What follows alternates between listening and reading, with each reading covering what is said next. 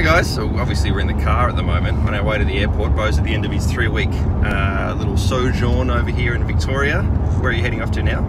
uh, to Canberra. Canberra. Teach a couple of courses there. Yep. And then I'll make my way to Sydney and then fly out from Sydney back home. Very good. Finally get back to Perth where you go into lockdown for two weeks and then you can get on with your life. Yeah, hopefully. We'll Yeah, that's that's been a big month. So we were chatting this morning, right, about um, people's understanding of, or that an industry's perception of how we change the state of tissue with manual therapies, um, and maybe some misconceptions, uh, misrepresentations of what we're doing. Um, and then I think we were specifically talking about how that ties into some of the modalities we use, and and yeah, I thought we might record this conversation. And uh, just, sorry for the background noise, everyone. We're on the road trying to make the most of our time, um, but record the conversation and let everyone give give everyone a bit of an insight into maybe a deeper understanding of what's happening when we are applying myofascial work and other manual therapies. Yeah, so I think the big thing is, you know, myofascial release um, and releasing tissue and mechanically changing the state of tissue. And I think that's a bit of a misconception as to when we apply a, a, a pressure, shearing force, whatever it may be, to the tissue that we're creating these mechanical changes. And I think there's a lot more to it when we consider the effects of the nervous system and, and um, you know when we apply this myofascial release so think about it as a sort of a static sustained um, pressure on the tissue that you know off, we don't actually apply enough pressure or do it for long enough to create mechanical deformation of the tissue so there's you know various other mechanisms that we need to consider and not just have this purely mechanical understanding of what we're doing And I think that defining the mechanical deformation bit is the key, isn't it? Because Yeah. we you can apply a very subtle, very gentle, almost imperceivable kind of um, uh, input to the to the tissue, and the patient and often the therapist will perceive a change. They'll get up off the right, table and go, "Oh, that feels better." You know, I feel like I can move better. There's less pain. Yeah And okay, well, there's a number of reasons why that might be the case, right? And it's not necessarily we've pulled the fibers apart or lengthened tissue or realigned collagen or anything like that. yeah There's there's the potential for some change structurally, but those subtle, softer, shorter applications are not going to get it done. Yeah, and you know we consider the, the various types of connective tissue from loose irregular to, to dense irregular and, and dense regular connective tissue. And um, when we look at the, the arrangement of the collagen fibers, they are very strong, very tough tissues. And you know if someone is applying a, a static uh, myofascial release technique and they say, well, I can feel the tissues melting away, and I, so I know that that's working. Well, is the tissue actually melting away or has it created a changed input to the, the nervous system that's created more uh, vascular changes, more um, changes in that sensory input, and then a decrease in muscle tone via the autonomic nervous system? Mm. And I think people are getting caught up in the okay, I'm applying mechanical force and getting a mechanical outcome. You know, that deformation is the mechanical outcome. Not necessarily the case. We're applying sensory input in lots of different ways. Any kind of massage stroke you do is very, it's a, it's a moment in time. Your hand slides across the tissue, your thumb frictions across the tissue. It's a moment in time. Yeah. That provides sen- um, somatosensory input to the nervous system, and then your body will do something with that. Yeah. One one change might be an increase in blood supply, an increase in uh, vascular perfusion. It might be we, we talk about plasma extravasation, Mm. where plasma will move out of the blood vessels through the blood vessel wall into the interstitial spaces and hydrates that connective tissue. That changes the the feel of the tissue. Yeah. It's a temporary change though. Exactly. So when we think of those loose connective tissues, areolar tissue, um, you know, we might be able to affect that, but it is short term. You know, you take away that, that heat and the, the force, um, that will go back to its its original state. So um, interesting when we start to think about that from a, a, a pain point of view. You know, we certainly can can modulate someone's pain with these techniques, um, but are we actually lengthening or deforming that tissue? Mm. If we look at the, the different mechanisms at play, we've got uh, a, a pain gate mechanism, Yep. we've got an endogenous opioid mechanism. Um, what else have we got going on there? Well, the descending pain modulation, which is plays into that um, uh, opioid system. Yeah. Um, We've got that increased vas- vascularization. You know, Yep. we can improve the blood flow and nutrients to that localized area. Yep. Um, and all the intangibles of things like you know the expectation that comes with a manual therapy technique. You've had good experiences in the past. Yeah. You expect this one to work, so therefore your brain will find a way to reduce pain for you. There's the um, you know the conducive environment. With, there's plenty of research to support the fact that if you have an, a calming, um, supportive, um, conducive environment to re- to uh, reduce pain, stress, and all these and work nicely with your you know sympathetic nervous system to make it more parasympathetic then all of these things kind of combine to give you a perception of change Yeah, and that's key because you know that brings me to th- thinking about um, if we were purely having this mechanical effect on on the tissue and that alone. Um, well, they've anesthetized. What is that word again? Anesthetized?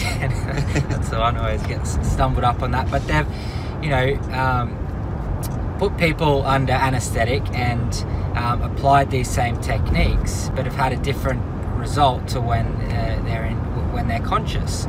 So, if it was purely mechanical, we'd expect the same result with with um, in, in- in both uh, subjects. that's So, right yep yeah, interesting to think about it like that. When you've we've got this uh, sense change in sensory input, we're going to have a different output in the tissues, changes in the, the nervous system.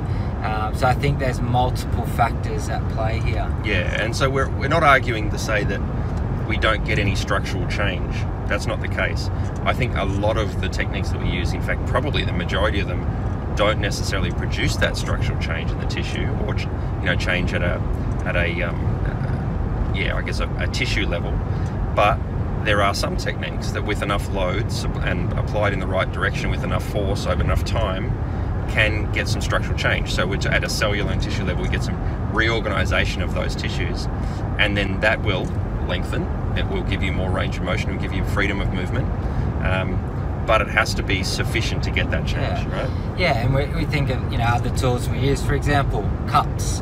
We can leave a cup on for a longer period of time. It's a stronger force. It's multi-directional, and we know when we look at the orientation of, this uh, dense irregular connective tissue um, that you know it's going to respond best to multi-directional pull. Yep. Um, you know, and then what when we do say a, a functional release cupping technique and in, in our phase three where we actually have the patient loaded and moving so that can create a, a stronger more sustained um, change which could potentially have more of a mechanical effect for sure. And that, I think for those who haven't learned or um, seen the functional release cupping technique in, in its entirety, most of you you've probably seen it online or whatever, but most people will be familiar with the movements where the cups are on and the person's up and moving. We call that phase three. That's like the end of the sequence if you are working through a protocol towards you know a treatment. So the early phases, phase one and phase two, are unloaded. The body's not under it, the tissue's under, under as much strain. The cup is essentially doing the work, and you might be doing some active or passive, but very low load movements, which is perfect for the pain modulation. It's perfect for changing the tissue at a, at a, um, at a chemical level, improving circulation, improving um, vascular vascularization, and then the plasma to hydrate that tissue. And so that's why we use phase one and two in the early stages when someone's very um, resistant due to pain or restriction. Yeah. Um, they're hesitant. Um, they are guarded. We can use these very subtle, gentle, um, comfortable techniques to get the person moving and the tissues uh, receptive. And then we move into these more higher loads, more sustained loads, uh, which is your phase three. And that makes perfect sense. And we were, we were sort of chatting earlier about this, and sort of interesting that while we've been doing this FRC technique for, well, I've been doing it for over a decade now, the technique hasn't changed, but my understanding, our understanding of it has definitely changed. Yeah. And that's through information like this. We're, we're finding the science to support what we've always known. And I imagine that's the case with just about every modality everyone that's watching this would use. There's, there's stuff that we know works, and we might have an idea on how it works, but if you just stuck with that one idea and you just got your blinkers on, um, you, might not discover all this other breadth and, and depth to it. And we're still now discovering a decade down the track of how this technique technique actually works. And that gives us the opportunity to be more specific in our Yeah. treatments. We can be more targeted. definitely and, and and you know that brings us brings me to thinking about those receptors, right? Yep. So when we look at creating improved mobility through the tissue, we've got our Golgi tendon organs, Mhm. which don't tend to respond to static stretching. But for the longest time, people thought that though. Yeah. You could stretch the tendon, that gives you your Golgi tendon organ reflex, but not the case. Yeah, so Mm. they they respond when the tissue is under load. Yep. All right. Contractile load, Yeah. not stretch load. Yeah, the muscle's got to contract. It has to Yeah. pull on the tendon. Yeah, which is really interesting when you start to think about, well, how do I engage that Golgi, Golgi tendon organ, which can have an inhibitory effect on that muscle to help to allow it to, to lengthen, um, and the, the, the fascial components along with that. Mhm. Um, so using a, a, uh, a mechanical tool such as such as a, a cup, um, and then taking that patient through a loaded environment, we can now affect that Golgi tendon organ and get Mm. better changes in, in range of motion and, and movement. I think everybody now, or most people, would agree that active movement, active engagement of the patient's nervous system in a, in a treatment is always going to be a far better um, goal than a purely passive treatment. Mm. And I know that so many of us still work purely passively and we get good results. Fine, that's no problem at all. But what if we could take that person from a passive treatment, start to incorporate some loading of tissues, some engagement of, of contractile activity to a more functional um, kind of treatment protocol or treatment plan for the person? What if we did that? Would that mean the difference between the person needing to rely on us for longer, or would it mean that okay, we can get them out from underneath that reliance earlier and be self-managing, or maybe even not even need any of our kind of um, treatments? Yeah. You know, that's the that active engagement is the bit that manual therapy has missed for the longest time, I think, and that's why you know you can. There's two camps. We've Yeah. got the anti-manual therapy people and the and the um, the pro-manual therapy people. If you just look at manual therapy as a passive exchange, one person giving, one person receiving, there's so many flaws in that. yeah. Yep.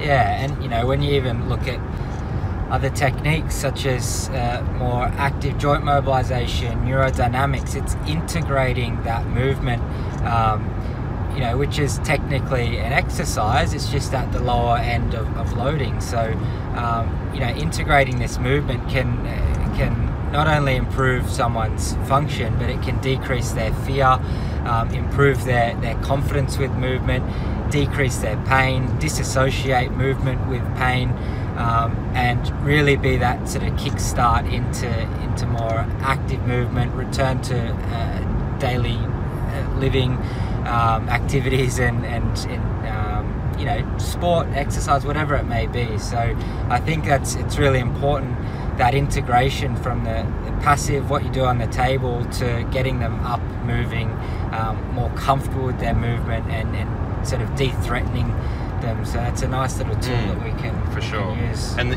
just what we've been talking about for the last 10 minutes or so, the science supports all that, right? Yeah. It supports it. The evidence clinically supports that. Anyone that works that way knows that it works better. But there will be plenty of us, and we have this conversation a lot in our courses, where that paradigm shift for someone who's been in this game for 15, you know, 20, maybe less years, and they've been treating in a very passive, one-directional kind of exchange Mm. type of, type of treatment. So now saying to their patients that have been managing for 10 years, let's get you up and moving. Let's see if we can incorporate some movement or some activity into your treatment. The patient might has been trained to receive your kind of treatment over those years, right? So changing that paradigm can be difficult. It can be, be confronting. And so, you know, it might not be for everybody. Some people are quite happy doing what they're doing, but if you if we can broaden our our vision of, of the potential for things a little bit and go, well, let's just try it. Maybe we'll try it on a few patients. Mm. And I think you'll discover that starting to get that active involvement of patient through movement and their nervous system and their, you know, musculoskeletal system through movement just multiplies the effect and speeds it up so much more. Um, yeah, and, that, and we see this, you know, in the science we're talking about here, the tissue loading, a passive cup on the tissue, or that could be a needle wound up, it could be um, a taping technique, it could be anything, versus incorporating a bit of movement, a little bit of higher load, sustained load, we start to see other mechanisms come into it that weren't at play with that more passive, shorter application. Yeah, and it's just change input to the nervous system, and we think about there are various different ways that we can do that. Um, but if we change that input to the nervous system, you know that can that can be sort of a way to um, integrate more uh, uh, active movement. Um, but I guess one one barrier that people often come up against is my patient comes in for a massage. How do I how do I get them active? How do I get them up and moving? Um, you know, so that's really where that that whole education um, part of it comes into it. But uh, I think the more that you believe in it, and the more confidence you, that you are, and you can demonstrate the benefits of, of getting a patient active, um, that's that's the key. Um, So Hmm. yeah, giving it a go, and um, you know, yeah, it's all well and good to apply a treatment on the table, um, get someone out of pain. That's fantastic, but you got to think about how would we progress it. It'd it'd be no different to going to the gym, lifting the same weight, progressive, you know, week in week out. Um, you'll get some adaptations and some good changes initially, but eventually those results will start to plateau. Um, so, in, in an exercise setting, it would be some form of progressive overload um, to allow that to adapt. With a treatment, it's no different. We need to um, think about how we can progress each treatment uh, to improve our results over time. Absolutely, yeah. So I guess the key takeaways from this are going to be that when we are running our thumb up somebody's hamstrings, we're not lengthening that muscle. We're not really, we're not deforming the tissue to a point that those fibers are now longer than they were before. When we apply a cross fiber tissue techniques across a bit of, you know, uh, old fibrotic scarring or something that, from a muscle tear, we might get a little bit of change in the state and the feel of that, but we're not going to be pulling apart layers of tissue. Um, those things might be possible, but not with those techniques. Yeah. Yeah, and we've got to consider that the nervous system, fascia, and connective tissue, it's highly, highly innovated. Um, you know, the, the effects that we have often are a response of the nervous system. We change that input to the nervous system that triggers autonomic responses in vasodilation, modulation of pain at the spinal cord level, at Mm. the um, in the brain. There's changes. There's descending changes as far as um, hormonal responses, endocrine responses. So um, yeah, there's a lot. There's a lot that goes on. Heaps, yeah. And look, I'm going to talk about this in, in more depth on Wednesday night in our um, uh, Mechanisms of Manual Therapy webinar. But there's kind of four things, right? So we have mechanical forces, which are part of the puzzle. It's not the that's not the start and the end. Mechanical. We have chemical changes as a result of some of those mechanical forces. We have neurological changes which either trigger them the chemical change or are triggered by it, or maybe both. And then you've got the psychological component, which is all of the psychosocial factors. It's all of the the, the, the, intangibles that are hard to measure, but are, have been proven to be a contributing factor. Yeah. And so there's four things there that we've got to look at um, with every application. It's not what we're doing that produces the outcome a lot of the time. And there's that's A. Z is the outcome. There's B, C all the way through to Y in the middle. Yeah. There's a lot going on there. Eventually, you might have the change in the, the, the tissue tone. Um, but yeah, it's, it's gone in multiple places before that. That was the, the output. Yeah, cool. Interesting conversation. Yeah. This is just how Bo and I roll. We get in the car and go for a drive and nerd out real hard. So thanks for entertaining us, uh, or, or for uh, allowing us to entertain ourselves on camera. Have a good day, guys. We'll talk to you soon. Cheers.